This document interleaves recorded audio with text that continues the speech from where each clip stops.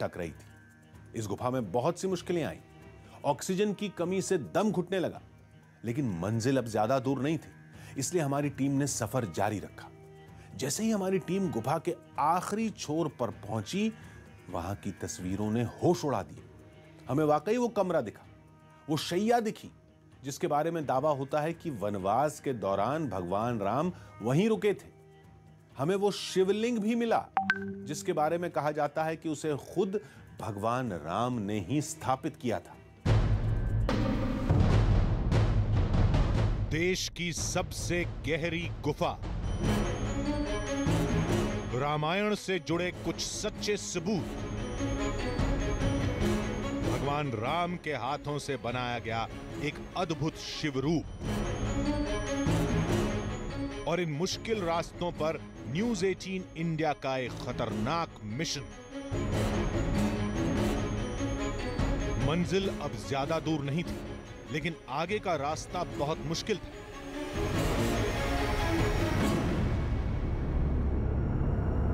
जिस गुफा में सदियों से या युगों से रोशनी ना आई हो, वहाँ पर जब रोशनी आती है तो क्या होता है? आप मेरे चारों तरफ़ देखिए आपको।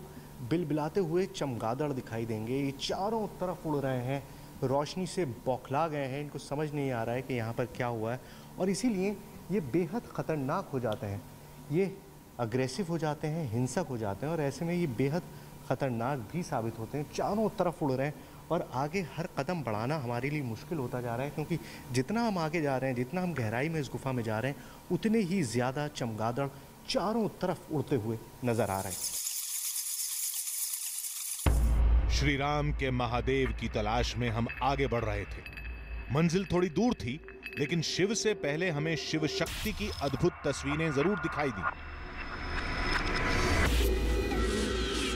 जहाँ शिव है, वहाँ शक्ति का होना लाजमी है। और जब से हम इस गुफा में आए थे, तब से हम वो तलाश रहे थे जो गाँव वालों ने हमें बताया था। उन्होंने हमें बताया था कि जब आप इस गुफा में काफ़ी अंदर जाएँगे तो आपको महसूस होगा कि दो आँखें आपको देख रही हैं। ऊपर देखिए। ये दो आँखें हैं आँखों का स्वरूप है आपको चंद सेकंड लगेंगे और आपने पहचान लिया होगा कि ये आँखें हैं। ये आँखें देवी की हैं वो आँखें जो इस गुफा में घुसने वाले हर आदमी को देखती हैं जांचती हैं परखती हैं और जब उनकी मर्ज़ी होती है तभी यहाँ से आगे बढ़ने दिया जाता है। चट्टान पर बनी इस आकृति को गौर से देखा। वाकई ऐसा लगा जैसे देवी का चेहरा आँखों के सामने हो।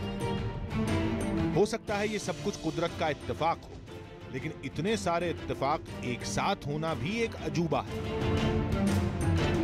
थोड़ा और बढ़े तो ज़मीन पर पैरों के विशाल काय निशान दिखाई दिए। ऐसे निशान जो किसी इंसान के नहीं हो सकते। इन निशानों पर आदिवासियों की अलग अलग मान्यताएँ हैं।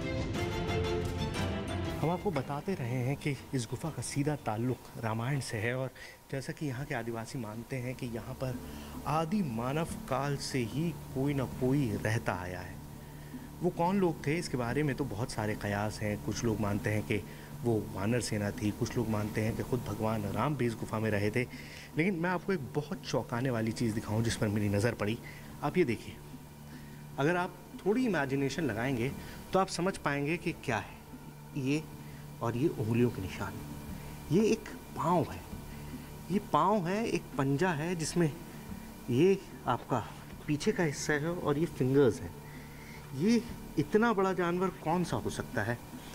ये मैं कयास नहीं लगा सकता, ना मैं सोच भी नहीं सकता हूँ, क्योंकि शेर का पंजा भी इतना बड़ा नहीं होता है और वो कौन सा इतना भारी पंजा था जिसने इस पत्थर में इस तरह का निशान बना दिया, इस पत्थर को नीचे दबा दिया और ये पूरा पैर का फॉर्मेशन यहाँ पर आपको दिखाई दे रहा है। तो यहाँ पर कुछ लोग ये भी मानते हैं कि यहाँ पर सुग्रीव और बाली रहा करते थे और छः महीने तक इसी गुफा में उनकी लड़ाई चली थी। पास में ही पानी का एक कुंड है, जहाँ दुनिया का एक और अजूबा मौजूद है। बताया गया कि इस कुंड में जो मछलियाँ हैं, वो अनंत काल से मौजूद हैं। ये मछलियाँ भी बिना आँख के ज़िंदा हैं। उन्नीस सौ अट्ठावन में जब इस गुफा की खोज हुई तो बिना आँख वाली मछलियाँ भी पहली बार दुनिया के सामने आई। तो इन गुफाओं का ताल्लुक रामायण से है या नहीं? इन गुफाओं में भगवान